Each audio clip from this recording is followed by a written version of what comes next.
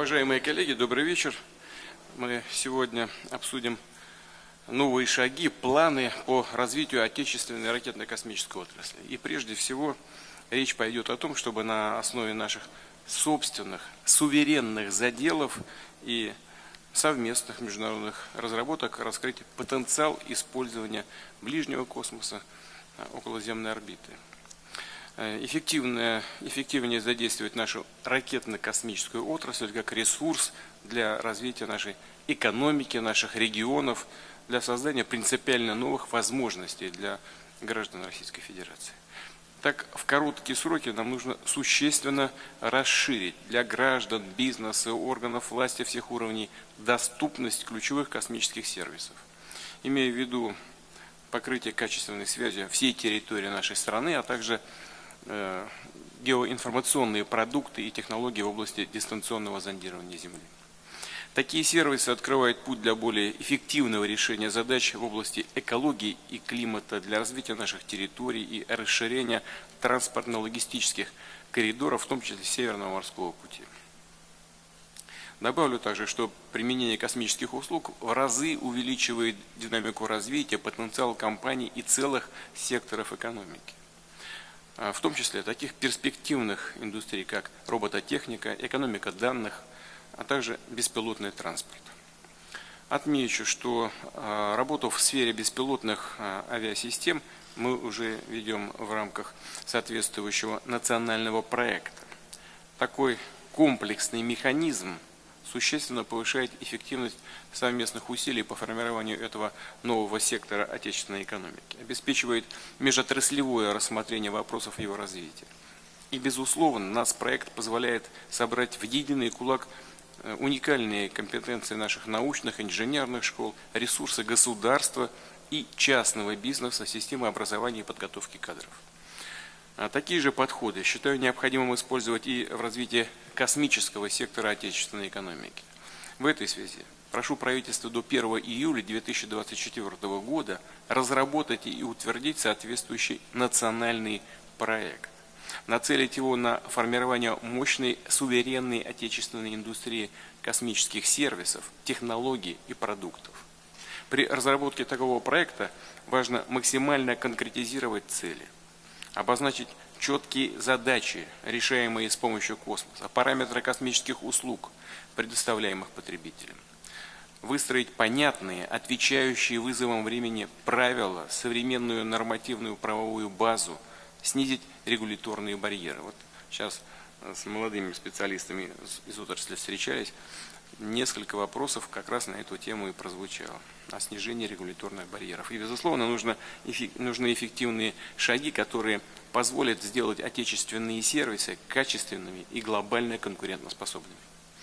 Обращаю внимание, новый нацпроект должен быть построен на основе современных финансовых и организационных механизмов включая диверсификацию источников финансирования, привлечение внебюджетных средств в космическую сферу. Для этого обязательно нужно предложить действенные стимулы для расширения участия частных компаний в развитии отечественной космической индустрии.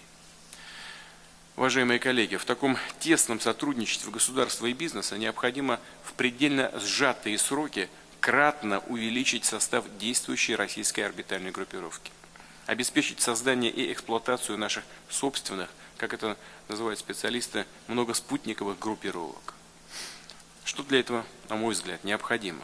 Первое – это налаживание именно серийного производства космических аппаратов, переход к конвейерной сборке. Мы с Юрием Ивановичем многократно эту тему поднимали на э, наших с ним беседах на предмет развития отечественной космонавтики и э, освоения космического пространства. Знаю, что и Роскосмос, и частные компании, сейчас только вот э, об этом тоже представители этих компаний рассказывали, такую работу проводят. Я прошу правительства подумать, как максимально ускорить развитие наших производственных возможностей в этой сфере.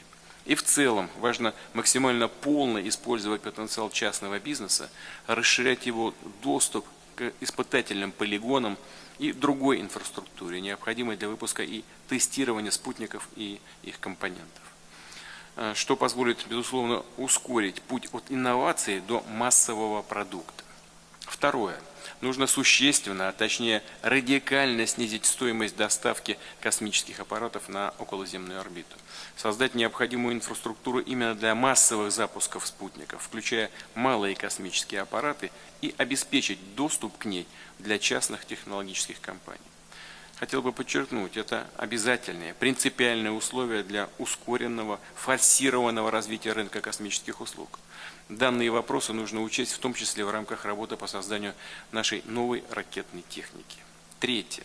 Чтобы привлечь инвестиции в создание орбитальных группировок, обеспечивать окупаемость таких крупных проектов, необходимо четко понимать, какие конкретно продукты, данные, услуги, связи другие сервисы потребуются государственным и частным заказчикам не только сегодня, но и в перспективе. По сути, речь идет о формировании долгосрочного заказа на космические услуги. Поэтому считаю необходимым уже сейчас предусмотреть, зафиксировать использование таких услуг в государственных программах, планах развития инфраструктуры, а также регионов, отраслей и даже отдельных предприятий. И, конечно, требования заказчиков а значит и качество предоставляемых сервисов, должны постоянно расти. И в этой связи четвертое. Как и во всех других секторах экономики, в космической сфере нужно стремиться к развитию конкуренции, настраивать именно рыночные механизмы, создавать реальные возможности для частных компаний в космической сфере бороться за государственный заказ. Сейчас пробиться им туда достаточно сложно.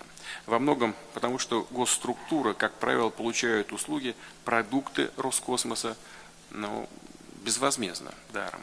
И, конечно, такая практика искажает конкуренцию, лишает сам Роскосмос мотивации работать над повышением качества продуктов.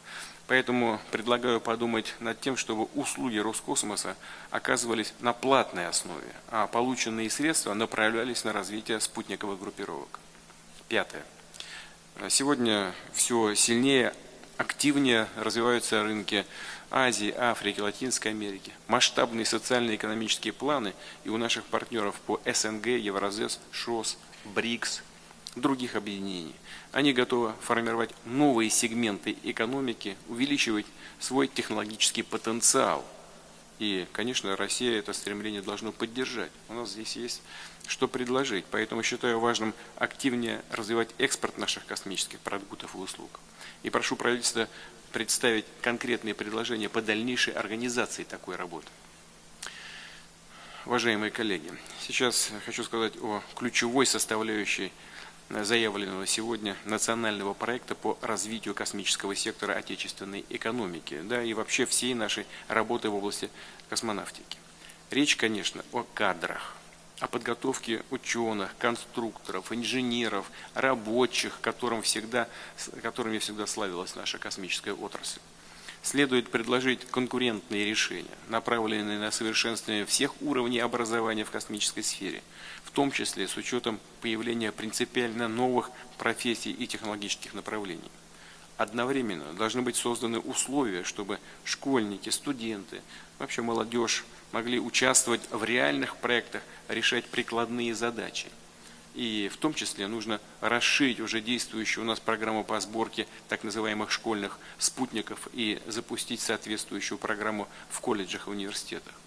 Хорошая идея – создавать студенческие конструкторские бюро – дать возможность вузам осуществлять неокры в области космоса. И, конечно, нужно наращивать просветительскую деятельность, чтобы наше новое поколение, юное поколение, молодое поколение мечтало связать свою жизнь с космонавтикой, с работой в этой сфере будущего.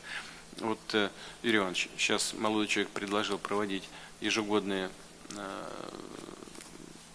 конкурсы в сфере инноваций в космической области. Мне кажется, надо поддержать тоже очень интересная может быть история. Разумеется, важны и все составляющие поддержки молодых специалистов космической сферы, включая повышение их заработных плат и решение жилищных вопросов. Послушайте, вот я сейчас смотрел э, документы перед э, нашим совещанием. Ну, в региональном измерении в, на предприятиях космической отрасли ниже среднего уровня заработной платы находится. Честно говоря, даже для меня это неожиданно ниже средней по экономике. по регионам. Я понимаю, что с кондачка такие вопросы не решаются, но все-таки руководители отрасли, правительство в целом должно обратить на это внимание. И, кстати говоря, э, и по, э, по жилью. У нас большой набор льготирования по ипотеке. Сотрудники космической отрасли не попадают ни в одну из них. Э, и это при том, что зарплата, скажем, достаточно скромная. Но так мы здесь не удержим кадры. Я прошу правительство подготовить дополнительные меры на этот счет. Отмечу, что все эти темы мы только что, как я уже сказал, поднимали с молодыми специалистами, учеными ракетно-космической отрасли работающими. Особенно ценно, что они унаследовали, вот это я хочу подчеркнуть, от создателей нашей космонавтики самые главные качества. Добиваться больших целей, служить Отечеству. Они увлечены своей работой. Ведь таких людей нам, нам, нужно, нам нужно дорожить ими, удерживать в отрасли. А, новым значимым шагом нашей страны в освоении космического пространства коллеги называли создание российской орбитальной станции. Я согласен, что нам нужно оперативно принять решение по данному вопросу. Э, все собравшиеся, ну, практически все знают, о чем идет речь, тем не менее я скажу. В ноябре этого года э, работающей сейчас на орбите Международной космической станции исполняется четверть века. И в следующем году она по изначальным планам должна была бы завершить свою миссию. Поскольку функционирование МКС вряд ли возможно без наших российских компетенций, мы продлили свое участие в проекте до 2028 года.